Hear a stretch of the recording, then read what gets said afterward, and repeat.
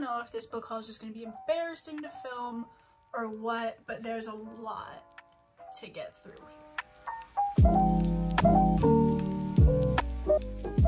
Hello everybody and welcome back to my channel. Today I am going to be doing a book haul of epic proportions here. Don't want to talk about how many books I've bought in the last month. It's just embarrassing at this point and we're not going to talk about it we're just gonna get on into the haul. So I'm not gonna go into synopses of these books because no one wants me to do that for like 25 books. You know, you know, some of these I have read, so I guess that makes it better. And some of these are secondhand, which also makes it better. But still, there's a lot going on here and we're just gonna get into it. So first I have two books by Talia Hibbert. I have Take a Hint, Dani Brown. oh my god, I have something The only thing I have that's liquid in here is Windex. I'm not gonna drink the Windex yet. Okay, I guess I'll just suffer. Take a Hint Dani Brown and Act Your Age Eve Brown. I really just wanted to buy this one because I think the cover of this is beautiful. I love the art style for these books and I wish I owned Get a Life Chloe Brown, but I have read that one if that counts for anything. But I think I'm gonna do like a romance reading vlog type deal sometime throughout the summer, so I'm gonna save these for that video because they would be perfect. The only thing I know about this book is that Chloe, no, this is Dani. the only thing I know about this book is that Dani and what's this guy's name? Zafir, they get into like a fake dating type deal and I love fake dating stories so much. So I was so excited when I heard about that. And this one, I know that Eve and Jacob, it's like a B&B type deal. Like it happens at a bed and breakfast. And the only thing that I can think of when I think of bed and breakfast is Gilmore Girls. I know that doesn't have anything to do with this book, but I love that show. So maybe it'll give me Gilmore Girl vibes with a with a romance. You know? Moving on, I have Heartstopper Volume 3. I have read this. I have loved this. I have a reading vlog in which I read this coming out soon. It just follows Nick and Charlie. They're going on a class trip to Paris. And that's kind of all that happens. I also know that volume 4 came out very recently, so I need to pick that up soon. This is The Crown of Gilded Bones by Jennifer L. Armentrout. I also have a vlog in which I read this. It's the same vlog as the other one. I have a love-hate relationship with this book. Nothing happens, and then everything happens, and it's just a lot.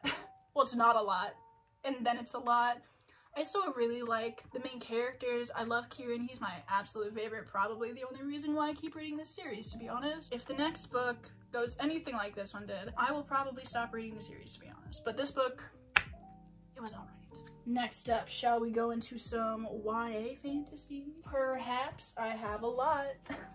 Who's shocked? First up, I have the Cruel Prince by Holly Black. I've already read this book. I've already loved this book. But I really wanted it in a hardback because I don't own any of the books in the trilogy. So I decided to just go for it and buy one. But look at the under the dust jacket. How I hope that's like playing with the light nicely. Beautiful. All of the art surrounding this series is beautiful. I love the chapter headings. Like the little bee with the flowers? Can we talk about it? Sure, we all know what that book is about. It's about elves. The elves? Fairies. Why do I call them elves? They're fairies. Next up, we have The Beautiful by Renee Ahdieh. This is about vampires in New Orleans, I believe. And honestly, that's all I needed to know about the book before I bought it. Now it's in my house. See how that works? Yeah, I've just heard, honestly, I don't think I've ever heard a bad thing about this book, and I'm so excited to get to this very soon. Next up, I'm very late to the trend I'm aware. It's fine. And I still haven't started reading this and I'm probably not going to read it anytime soon, to be honest. So this is Shadow and Bone by Leigh Bardugo. I know the Netflix series just came out and I do want to read this before I watch it. I just don't know when that's going to be. So yeah, I'm not going to go into any of what this is about because I'm so sorry for even shoving this in your face again. Next up, I have City of Bones by Cassandra Clare. This is the first book in the Infernal Devices, the Mortal Instruments, the Mortal Instruments, yes. I'm so knowledgeable. I never read these books when I was younger and I just see everyone talk about them, so I found this for five bucks. And I was like, I want to see what the hype's about. So here we go. I hope to get to this sometime over the summer. Some good YA fantasy. Vibes. Next up, we have Blood and Honey by Shelby Mahurin. Was not the biggest fan. Kind of went the same way that The Crown of Gilded Bones did. The first, like, four-fifths of it were uneventful. And then the last half got better. So what can you do? Gods and Monsters comes out in late July. I will be picking it up. What's next? Shall we do adult fantasy? That would make sense. First, we have Ninth House, another Leigh Bardugo. I found this at the thrift store for $2, and I think it's new, which is crazy, and that's a deal, and I'm just very excited. Love the end papers. Cool. Snake things. Or tentacles.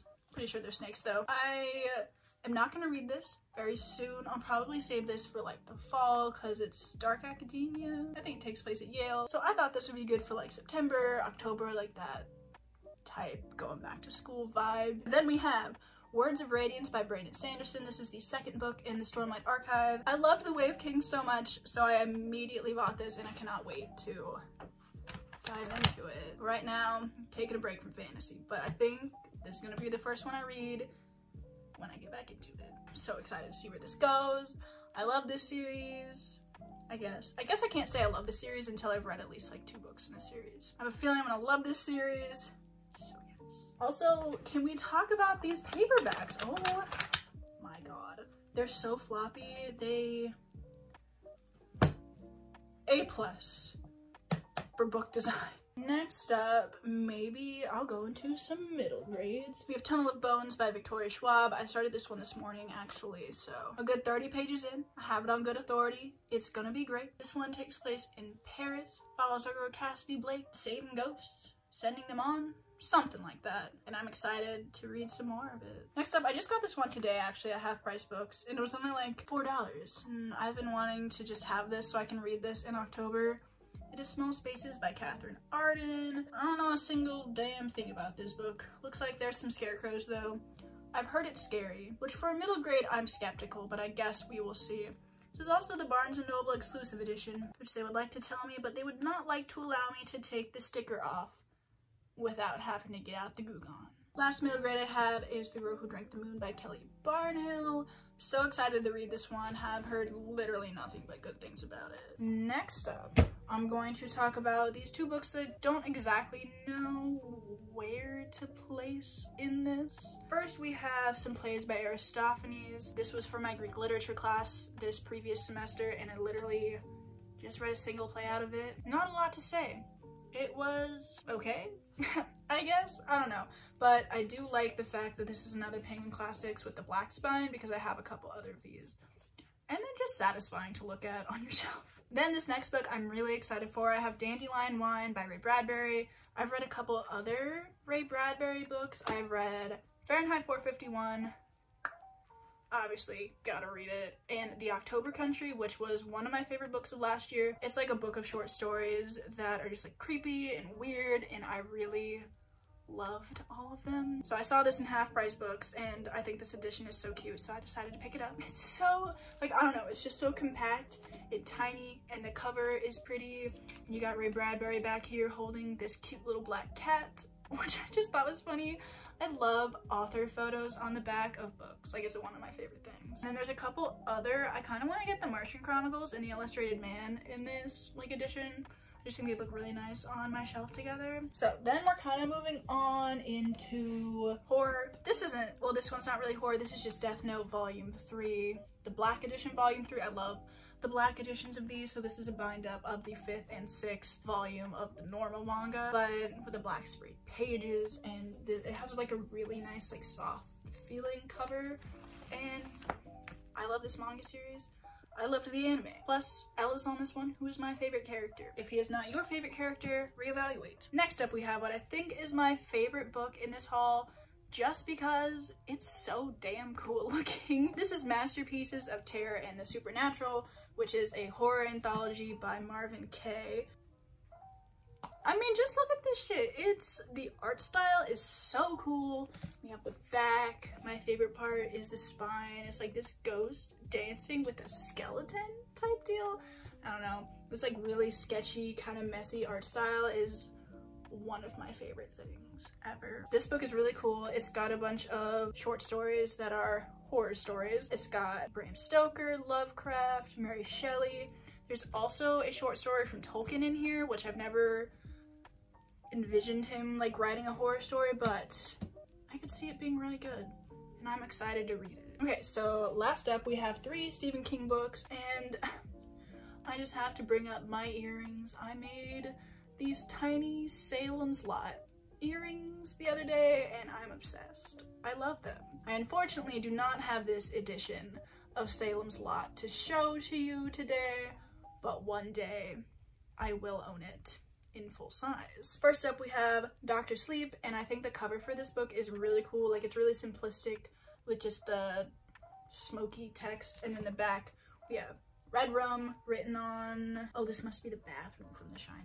Gonna be honest the shining is not one of my favorite stephen king books that i've read. It's probably my least favorite. It's not bad. I just think all of his other ones are better. Like i don't know. And it's not even that i like the movie better because the movie left out so much. I just the Shining took me so long to get through and it was interesting and the concept is really cool, but like the book, it's just not my favorite thing personally. So, but I am excited to read this little continuation. So then the next or last two books I have are two of the book club editions. Now I love the book club editions. I know they're not like super highly valued, but I just really like the size of them and I think they look really cool. First up we have Cujo, which just think the cover is so cool. Got the typical 80s author photo on the back.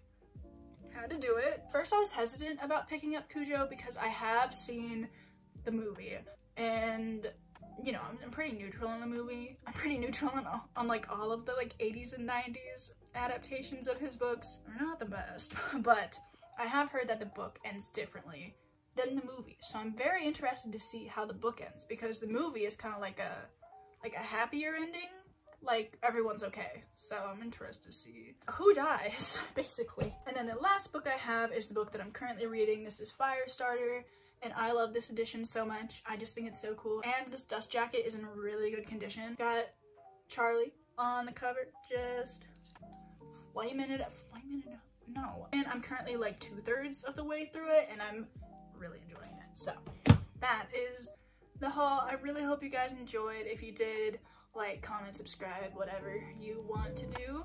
And I will see you in my next video.